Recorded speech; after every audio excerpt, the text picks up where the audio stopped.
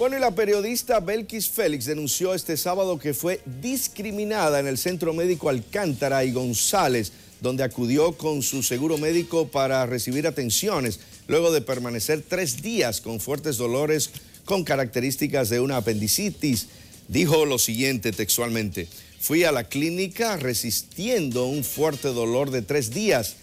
tengo y tanto la emergencióloga como un médico cirujano que me vieron coincidieron en que podría ser una apendicitis, pero en el momento de ingresarme me dijeron que el seguro no me cubría la habitación, por lo que me quitaron el suero que tenía y me echaron de la clínica, expresó la comunicadora social.